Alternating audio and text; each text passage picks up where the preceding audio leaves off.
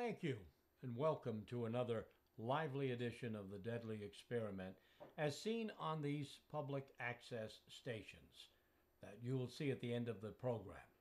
Watching the program is certainly something that we do find a lot of people doing nowadays. A lot of people recognize us and know us from this program. You'd be surprised. Many will probably not want to advertise that fact that they watch the deadly experiment, but they do, including most people who are highly connected in the structure of this area. Uh, of course, the politicians and the elections and all of that is something we try not to pay much attention to because there is no reason to. Uh, I go back to the days, folks, of Peter Van Dam running for governor of Rhode Island, Adam Verone. Uh, we had Ray Greiner running for United States Senator uh, against Claiborne Pell in the Democratic primary. These things now have really shaded and, and moved into oblivion because now we're in the final stages of the one world system. Rhode Island doesn't count. The states don't count, as we're seeing with federal judges and tyrants on the Supreme Court exercising authority they don't have to impose a sodomite agenda on America. That is, so called gay marriages being legalized by edict or by judicial review which is not allowed in our Constitution as far as appellate jurisdiction of the courts. All federal courts and all the Supreme Court's jurisdiction in appellate matters that come from the states is regulated by Congress, and Congress has never granted that authority for the states to hear these cases or for the courts to hear these cases. Article 3, Section 2, Clause 2 tells us that it's called the exceptions clause. Of course, law schools don't exist to teach law, they exist to teach what they call law. It is Talmudic law, it is Judaic law, and certainly it is equity law, but it is not law. Now, today I'm going to have a special program. I'm going to introduce a little short video here. it's entitled Thanks Jews. Now, I don't refer to people who call themselves Jews on this program as Jews. They are not. See, Jews implies that they are part of Judah, and they are not. Now, who said so? I didn't say so. Jesus himself said so. In Revelation 2, verse 9, and Revelation chapter 3 and verse 9, both. In red letter, Jesus Christ said, I know the blasphemy of those who say they are Judah, Jews, Israel, and are not, but do lie, and are of the synagogue of Satan. Today we're going to talk a little bit about Cain's influence, Cain's seed line's influence on Jacob Israel, true Israel. And who are these people and how they've destroyed so much in America through Hollywood and through, of course, the mass media particularly the news media, as it's called. So we're going to deal with that. But first, I want to read to you from the book of Luke a little bit, chapter 20, where Jesus is speaking in parables. Jesus spoke in parables, he tells us, so that he could conceal his message from the worldly wise, from the scribes, the Pharisees, and those in control. Again, those who call themselves Jews but are not they had taken over, folks, they had taken over the ministry, if you will, of Israel. They had taken over the temple. And they did that when they were conquered and brought into the kingdom, the kingdom of Hibernian, the Hebrews, the Israelites, by the Israelites under John Hyrcanus, the king of Israel. So they were conquered, they were brought in unwisely, and they took over the temple. That's why you see Jesus kicking the tables over, the money changers.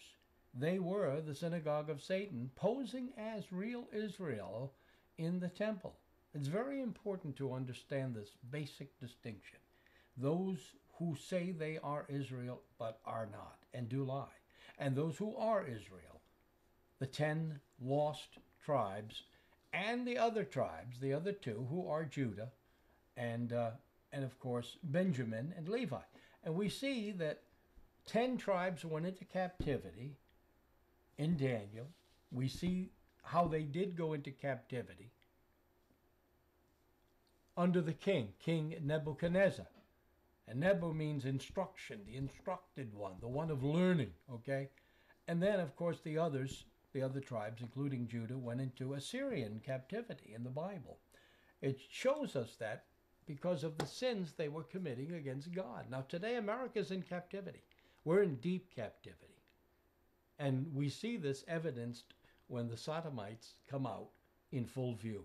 We're seeing America a sodomite nation now. This is when captivity is deep, the economy is going sour, everything is just transferring itself to a lower level of existence.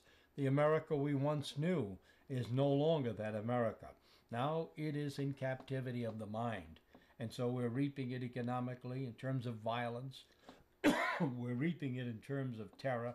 We're reaping it in terms of the disarray and destruction of our family unit. We're reaping it in every form of human existence that we have in America today foreign intrigue, foreign interventionism, the continuing erosion of the borders because the borders are left wide open, and the aliens taking over. All of this was forecast again for the last times. Why is that possible? How is that possible? I think we'll show you in this very brief video and how we can be thankful for the influence of people who call themselves Jews but are not. They are not true Judah. They are Edomians. They are that synagogue of Satan, Cain's seed line, the seed line of Cain from Genesis.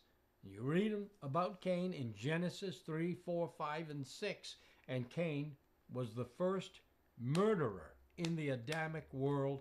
He murdered his own brother, righteous Abel. Abel was a sheep herder, like the sheep that Jesus would refer to, his people. And of course, Cain was not. He was a tiller of the soil, he was a builder of cities. He was on the move, but he wasn't of God. He was born literally in that garden when Eve was seduced, yes, by the serpent. No, not a snake, an actual fallen angel in human form with genitalia. And that's why God said, Do not partake of that tree, the tree of death. Friends, the tree of death is Satan. And what did Eve do? She was seduced. And so we read, mostly at funerals, we hear about man had but a short time to live, man who's born of a woman, very short in terms of time itself. But you see, the gift of God is eternal life. And only Christ the second Adam could accomplish that fate. Now, right now, let's go into that video showing how thankful we can be uh, for the representation in all aspects of American life today through Cain Seedline over true Israel in our country today. Thank you. Thanks, Jews. Did you know that there is a group of people out there that does an incredible amount of good for us and yet is truly underappreciated? Who are you talking about? Jews. Oh, so what did Jews do for us? The real question is what don't Jews do for us? Well, let's start with money. You like money, right? Sure, who doesn't? Well, maybe you should check out who has been greasing the monetary machine. Look at the great people who have been busy heading the Federal Reserve, the World Bank, the International Monetary Fund, and other large financial institutions. Wow, I knew Jews were good with money, but I didn't know they were responsible for running the world's money supply. Thanks, Jews. Well, what about entertainment and information? You like media, don't you? I sure do. Have you ever thanked the people who own almost all of the media outlets in the Western world? That's right, Jews are behind our movies, television, newspapers, magazines, radio, and more. They have been burdened with entertaining and informing us all men, women, children, and grandparents alike. And I don't think they get enough credit for their wonderful achievements. Wow, I never realized how much my mind has been shaped by Jewish brains. Thanks, Jews! Now, you like buying things, right? Um, yeah, of course. Did you know that Jews play leading roles at many of our country's top corporations? Now, I already mentioned banks and media, but what about property managers, manufacturers, merchandisers, communications companies, technology titans, and the rest? You will find that they are all kosher, just like all of our food. You know, when you see the number of yarmulkes in the boardroom, it really makes you want to say, Thanks, Jews. You took the words right out of my mouth. And what about security? You want a government that protects you, right? Of course, but you mean to tell me that Jews are responsible for that too? Now, some people do recognize that there are a lot of Jews working overtime within the government bureaucracies to pass fantastic legislation, regulating business, enhancing education, revolutionizing our military, and controlling dangerous guns. But what most do not realize is that Jews are so concerned with our security that they have dual citizens from Israel here working in top positions of our government, monitoring threats to our country, putting us first and foremost. That really is selfless of them. Thanks, Jews. And do you know who has been enriching our lives with delightful diversity over the years? I can take a guess. And you'd be right. Jews have been behind America's immigration policy and civil rights movement for decades upon decades, ensuring that our country is multicultural and vibrant. Without Jewish influence, this would be such a bland and boring place to live. We know who to thank for all of the wonderful new additions to our land. Thanks, Jews. They just care so much about making this a better place to live. I think you're really starting to get the picture. This group of people, only 2% of our population, has been leading the way in banking, media, corporations, government, and almost everywhere else. I just don't think enough people realize the great work that they are doing. This modest people, chosen by God, really needs to be recognized for their humanitarian achievements so that the people of our country and the rest of the world can stand united and speak with one voice, saying, Thanks, Thanks, Jews. All right, ladies and gentlemen. So now you get the, the picture. These uh, souls from Cain's seed line down to the present who will rule the world system, who are in control of all of the major institutions, the four hidden dynasties, will in fact consummate their power in Jerusalem, as the scriptures have indicated in this generation, the generation of the bad fig. Now, Jesus, okay, in Luke 20, as I was about to say before this uh, interlude, Jesus himself was questioned, his authority, by these people, who said to him, From whence do you get your authority? And he says, Well, where did John the Baptist get his from? From you, from men, or from God? And of course, Jesus told the tale, the story, okay, this, this important message that he was giving to the scribes and the Pharisees who were ruling in the temple. He said to them, there was the story of the tenants, the parable of the tenants. And Jesus talked about a man who planted a vineyard, and he planted that vineyard and hired some farmers to take it over. And the farmer would come and take care of the vineyard, but the tenants were in control, basically. The tenants were on the property, you see. And so he sent one of these workers, one of these laborers, one of these farmers to get a portion of that which they grew, the fruits of their labor. And instead, they scourged him, they beat him, they mocked him, and they sent him off. So the owner sent another. And that other worker in the field came, and he too was scourged and beaten and sent his way. And another the owner sent. And finally, finally, what happened was these wonderful scribes and Pharisees said, Wait a minute, let us counsel together. We don't need to keep the property under the tiller and under the control of the farmers, of those whom the owner had sent. What if we would kill the owner? Get rid of him. Then the inheritance would be ours. The vineyard would be all of ours. And they counseled together. Jesus is telling this to them for they knew he was speaking of them, these Kenites, these sons of Cain.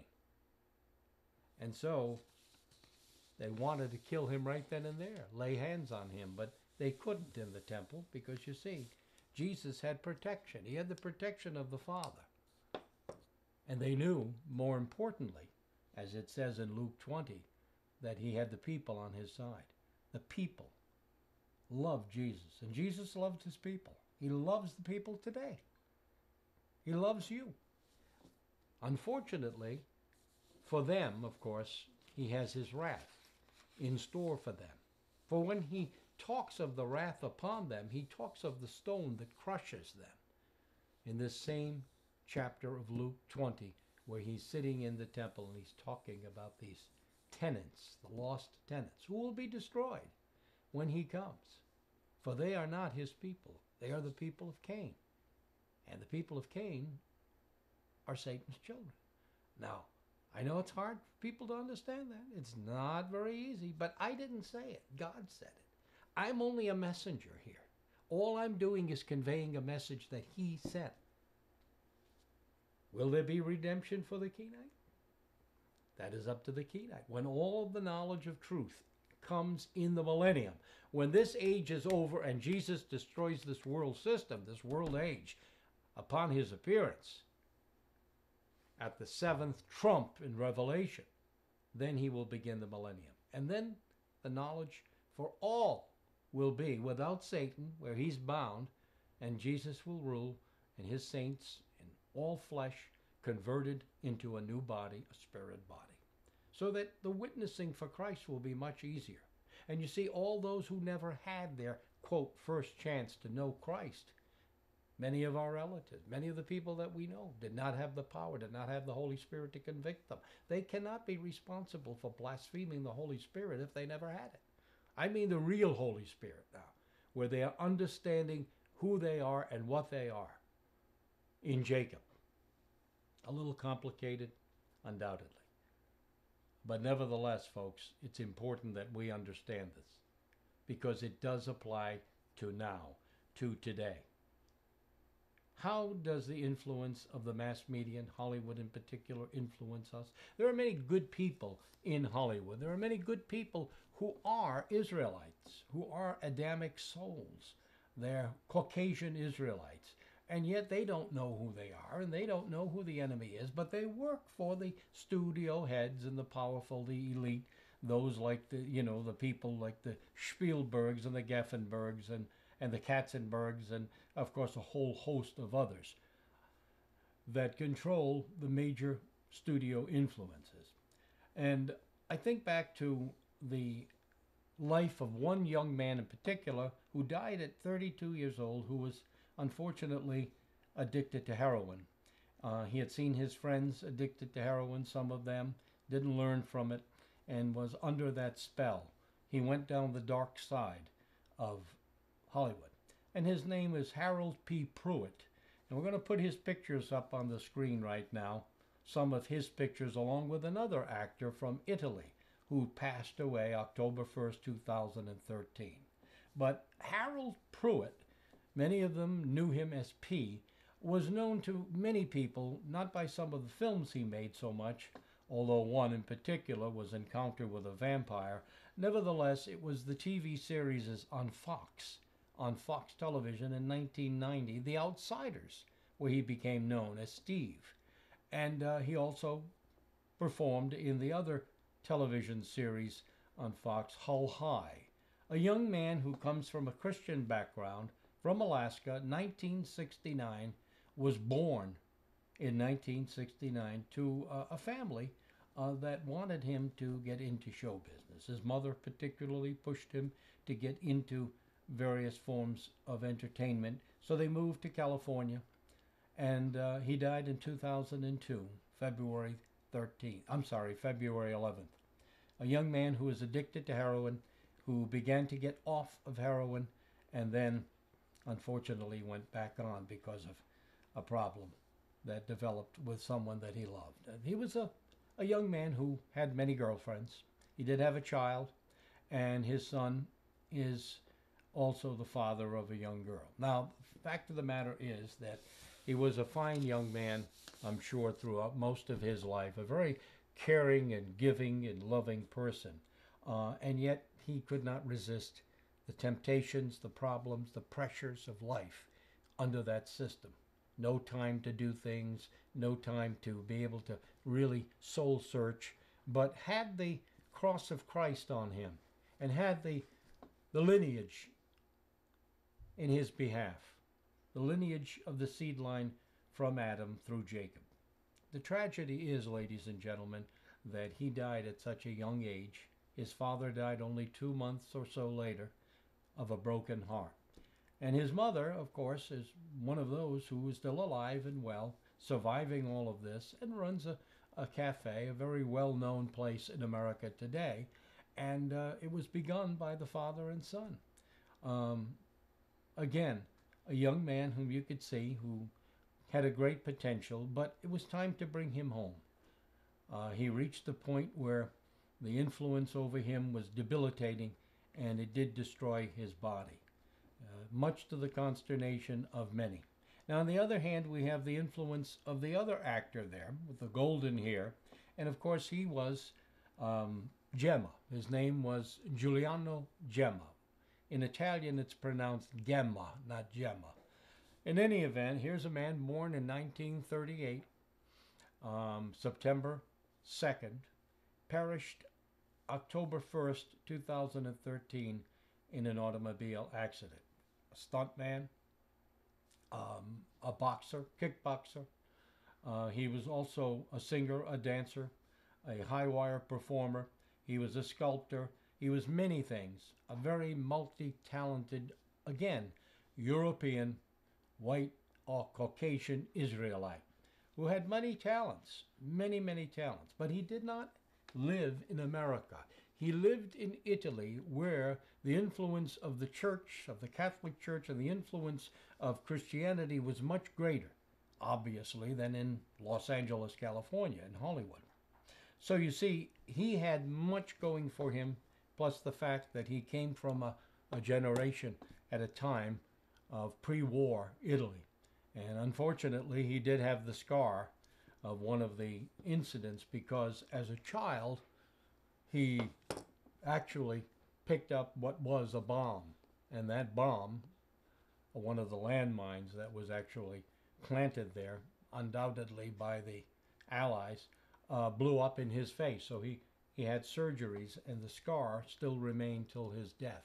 Nevertheless, he was known as Angel Face because of his handsome appearance he actually appeared in over 102 different films, many television, playing even Mussolini uh, toward the end of his career.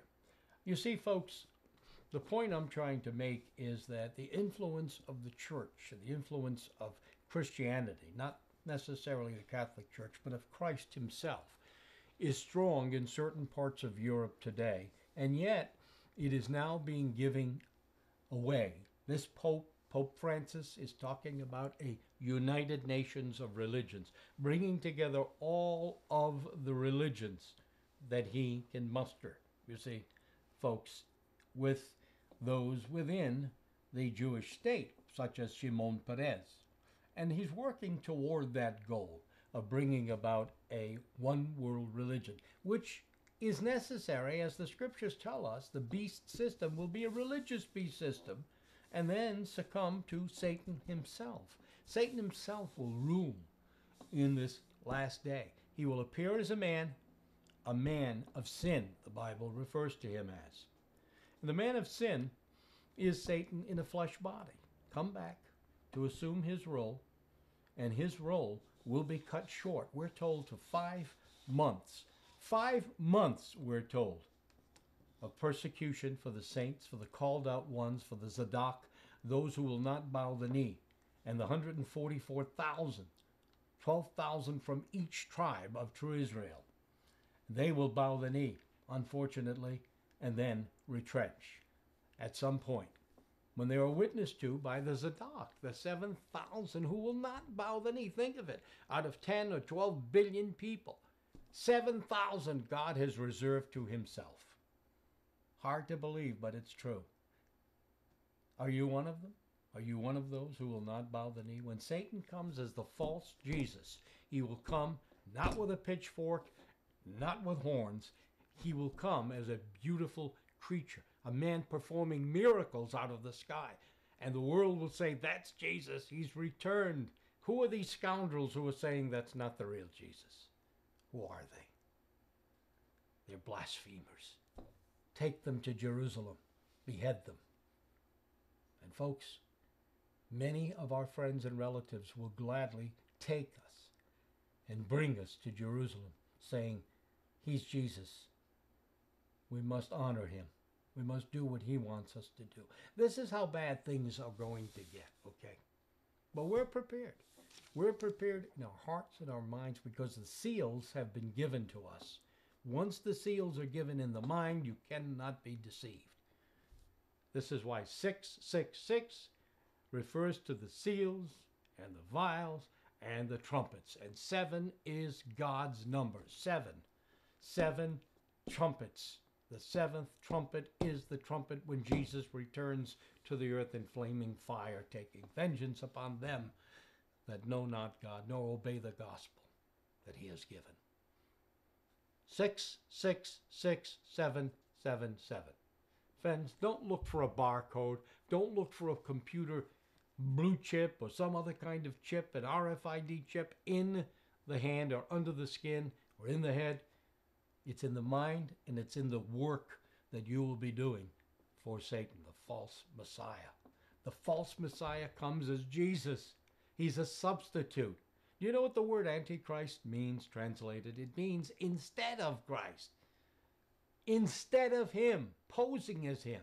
Just as those who say they are Israelites and are not are described as hypocrites by Christ himself. Don't be accounted with the hypocrites meaning play actors, role players, those who say they are something they are not. Is it becoming clear now? Cain's influence on this world system, on Jacob Israel, on Europe, the United States, Australia, all of these nations of the world that have been infected, if you will, with the disease of Talmudic Judaism, Zionism, one worldism, globalism, are actually victims, just as these people have been victims uh, the Harold Pruitts of the world, victims of the seed line that corrupts the soul. But the soul belongs to God. He will be resurrected, just as all will be resurrected to be given the Spirit of God in them, and then they will make their decision for Christ as opposed to Satan. You see? So there is no fear. There is no need to fear friends, this age and the influence of Cain's seed line on all of the world's populations, all of God's creation. For Jesus is in control, and only God can destroy the soul, not the body only, but the soul. Satan can destroy the body, but he cannot destroy the soul. The hope is in Christ, Yeshua Messiah, repentance. Unless you become as a little child, you cannot enter into the kingdom of God. I hope this has helped some, has given some pause to understand that this world system is basically God's world. He created it, it fell. It fell in Genesis 1 1 and 2. He recreated the world. We have a new world, and we're living in this new world now that is soon to be brought to an end when the third earth age does begin, when Jesus himself rules in the millennial kingdom, and then the end after that, after that's over. Sorry about that. Getting a little excited. Don't forget our special documentary that's coming up November 9th, November 16th, Sunday on Interconnect Channel, Cox 13, and Verizon Channel 32 on Taboo Myths about World War II that you need to know. Time's up. Thank you all for watching The Deadly Experiment. Rick Adams, Goodbye and Yahweh bless